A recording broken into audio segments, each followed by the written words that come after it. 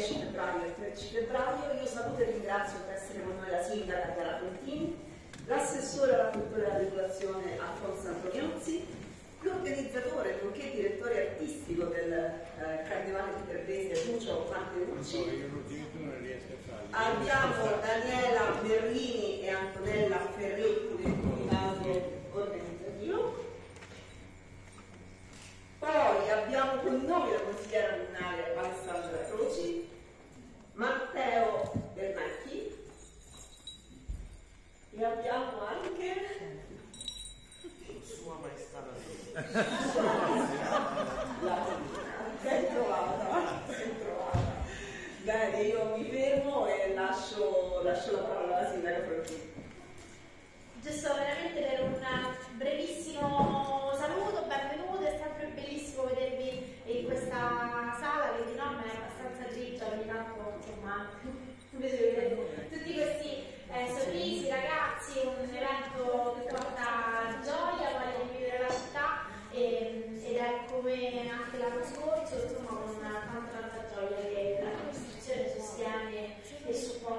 questo, questo appuntamento, perché è un appuntamento che ci fa vivere la città, ci fa vivere il centro storico in maniera comunitaria e con la spensieratezza di cui abbiamo sempre più bisogno. Quindi ogni anno tra l'altro è un appuntamento che vediamo crescere, vediamo insomma, i gruppi, l'interessissimo che si iscrive, chi sui social, chi chiede e quest'anno tra l'altro insomma grazie alla consigliera Croci poi lo dirà lei anche un occhio attento insomma un tema di inclusione che eh, riteniamo sempre, sempre molto importante e di volerlo portare ecco, ogni volta eh, all'attenzione delle grandi manifestazioni delle manifestazioni importanti. Credo che sia doveroso da parte mia ringraziare Alfonso ovviamente Davis perché sono gli uffici dell'assessorato alla cultura e all'educazione che eh, supportano dal punto di vista amministrativo insomma, tutta la, la parte burocratica dell'attività e poi ovviamente eh, l'anima e le anime eh, della festa e insomma Lucio e tutto il gruppo di collaboratori che hanno dato veramente corpo e, e brio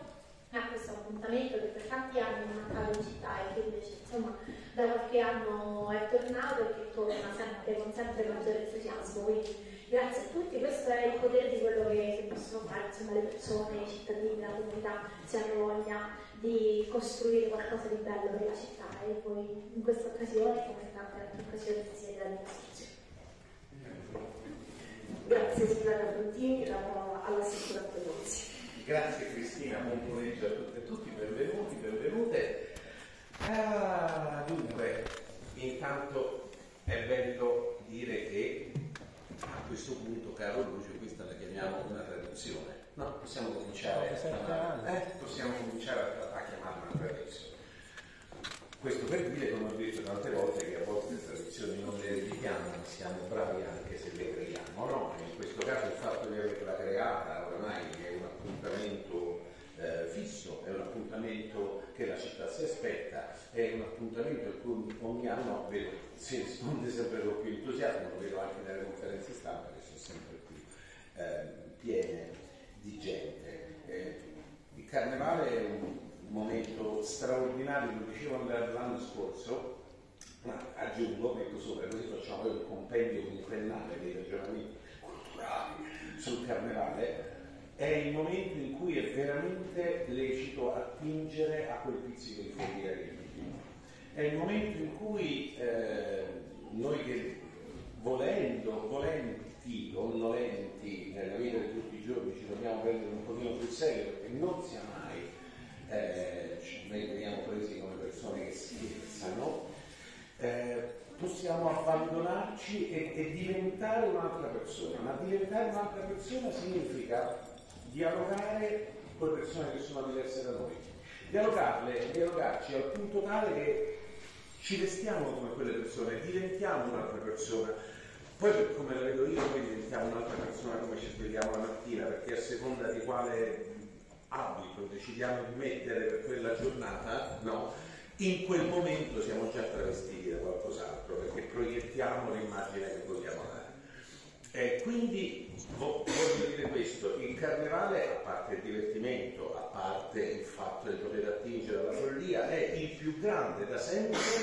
esperimento di inclusione sociale che il mondo si sia mai eh, inventato. No? Eh, in mezzo al carnevale tu non distingui la persona seria dal burlone, non distingui il folle dal saggio, è il più grande esperimento di, di inclusione sociale. E, e, proprio per questo noi abbiamo, con la consigliera Croce che adesso parlerà, fatto un saltino di più, cioè abbiamo parlato ancora di più di inclusione sociale, che non significa soltanto diventare qualcun altro, ma significa dare la possibilità a tutti di partecipare in maniera attiva e fattiva al carnevale. Voglio dire, e chiudo velocemente, che tutto questo, eh, e lo dico per i interventi che verranno al carnevale, lo dico per ogni forma di spettacolo e per ogni forma di eh, ehm, evento. Eh, oltre ad apprezzare quello che vedrete, apprezzate sempre il lavoro che c'è dietro, perché tutto quello che si infiamma e scompare nel corso delle 3, 4, 5 ore del carnevale, arriva da mesi, mesi e mesi di preparazione, di negoziazione, di lavoro col budget, di cucitura dei costumi, di immaginazione del carro, cioè quello che arriva è la fine di un lungo periodo di collaborazione che anche quello è sempre seguita, è stata sempre vicino a noi che è stata sempre tanto carina nei nostri confronti e purtroppo è venuta a mancare questi giorni, alla signora Rosana De Marchi.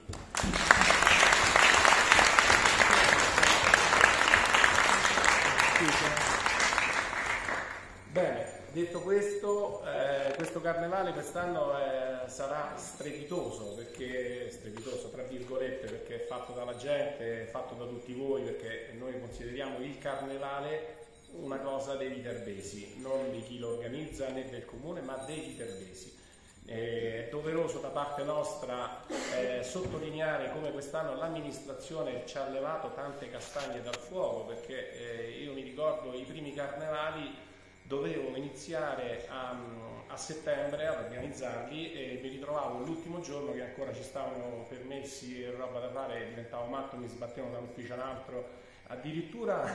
ho subito l'umiliazione di alcuni eh, funzionari che mi dicevano ma che è il carnevale che Viterbo? Ma stiamo, stiamo a parlare di, di, di, un altro posto insomma dicevano di Viterbo. Quindi manco ne erano al corrente invece adesso possiamo eh, notare con piacere che si è messa in moto una macchina organizzativa dell'amministrazione pubblica e eh, quindi a noi mh, ci ha fatto molto piacere perché ha fatto sì che eh,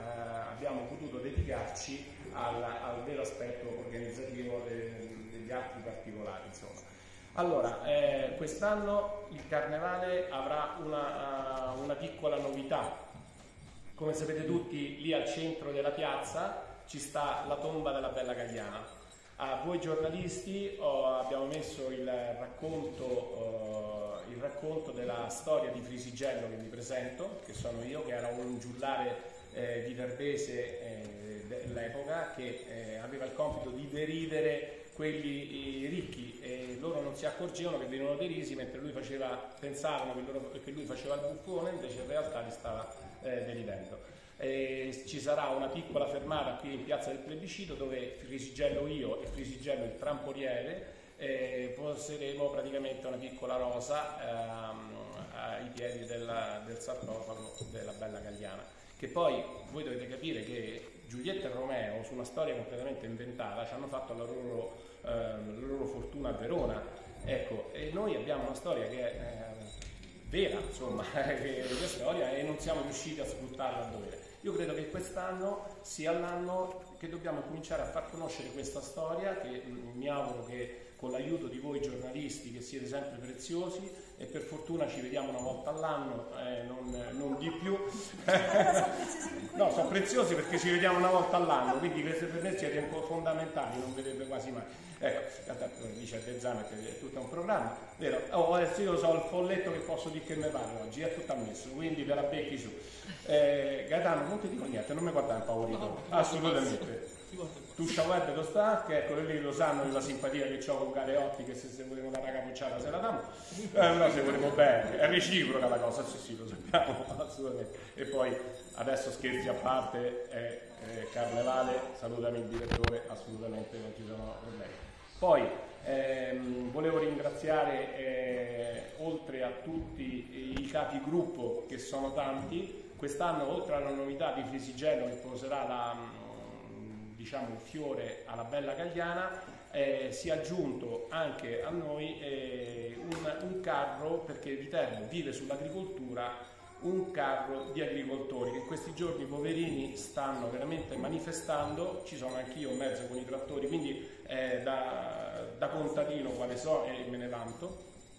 stanno manifestando per, eh, per voi, anche soprattutto per voi, però finalmente vogliono strammatizzare e vogliono unirsi insieme a noi con i loro bellissimi costumi eh, antichi e far vedere insomma, che i contadini ci sono sempre. Quindi grazie per essere uniti e sarete per i prossimi anni sempre graditi, graditi ospiti. Eh, abbiamo consegnato questa mappa dove, verrete, dove tu, tutti voi giornalisti potete capire dove saranno ubicati i carri. Eh, stiamo pensando che superiamo i mille figuranti,